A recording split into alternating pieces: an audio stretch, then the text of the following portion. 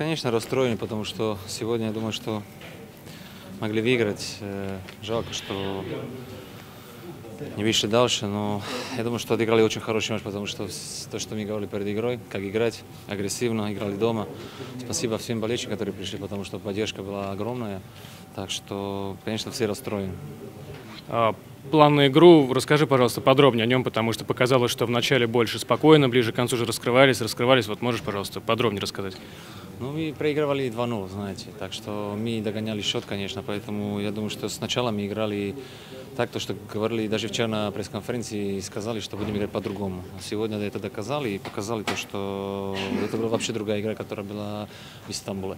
Так что все ребята молодцы, и, ну, можно сказать только, да, что жалко, потому что сегодня, если бы Сэм забил, потому что там был такой момент, когда я сзади видел, я думал, что это уже гол. Но все бывает в футболе. А Психологически теперь будет тяжело переварить это поражение и настроиться на чемпионат России? Или наоборот, вы поняли, что набрали форму? Но мы не проиграли, мы просто не вышли дальше, так что сейчас уже все прошло.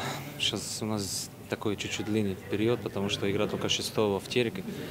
Э, у нас были две тяжелые игры, с которых, конечно, тренер уже видел, как, как команда настроена, как готова. И, э, так что я думаю, что на Тереке все готовы, будут здоровы. Но жалко, что сегодня потеряли Делвина, потому что пока не знаем, что какое там повреждение у него. Но, конечно, сейчас уже надо забить и смотреть вперед.